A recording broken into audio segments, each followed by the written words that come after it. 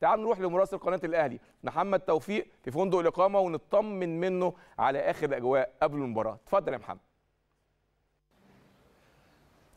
مساء الخير كابتن أيمن تحياتي لحضرتك كل مشاهدي ومتابعي قناة النادي الأهلي في كل مكان. يتجدد اللقاء واستوديو تحليل جديد مباراة الأهلي والإسماعيلي في إطار مباراة الجولة الثانية من مباريات المجموعة الثانية بكأس رابطة الأندية المحترفة.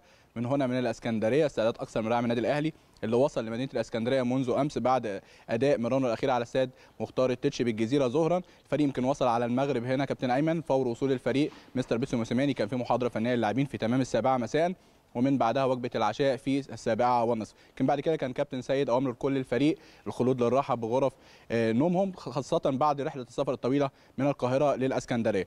النهارده يمكن اليوم الساعة 11 صباحا كان وجبة الغداء يمكن التنسيق بين الجهاز الفني ودكتور عبد الرحمن سعيد أخصائي التغذية قال إن إحنا فضلنا إنها تكون وجبة واحدة وتكون وجبة غداء طبعا علشان قرب المسافة ما بين موعد الإفطار وموعد المباراة اللي هتقام في الثانية والنصف ففضلوا إنها تكون وجبة واحدة ووجبة غداء لإعطاء اللاعبين السعرات الحرارية اللي تكفيهم إن شاء الله خلال مجريات المباراة ويكون في وجبة ثانية إن شاء الله فور انتهاء المباراة قبل الرجوع إلى القاهرة. يمكن كمان بعديها مستر بيتسو موسيماني عقد المحاضرة الفنية للفريق في تمام الساعة 10 وثلث من ظهر اليوم. كان الكلام فيها عن خطة المباراة وأهم الحاجات اللي هتنفذ خلال مجريات المباراة وتشكيل المباراة. إن شاء الله نتمنى التوفيق لأي 11 لاعب يرتدوا تيشيرت النادي الأهلي ويمثلوه النهارده خاصة إن قائمة 23 لاعب المختارة والمسافرة إلى هنا إلى الاسكندريه معظمها من الشباب وناشئي النادي الأهلي.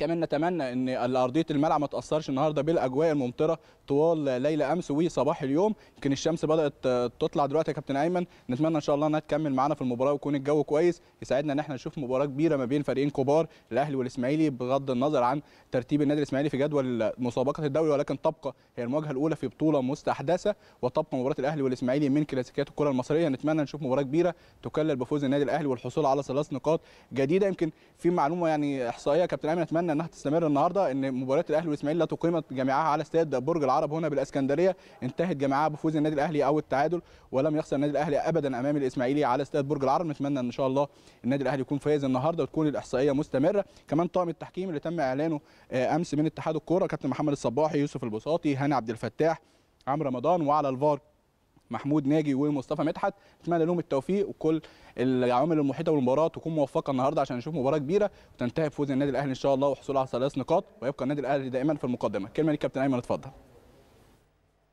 شكرا جزيلا للزميل العزيز محمد توفيق. زي ما شفتوا حضراتكم هي الأجواء ممطرة يمكن ونتمنى التوفيق للاعبي النادي الأهلي. زي ما محمد كل الماتشات الأهلي والاسماعيلي اتلعبت في الملعب دوت ما النادي الأهلي لم يخسر اطلاقا.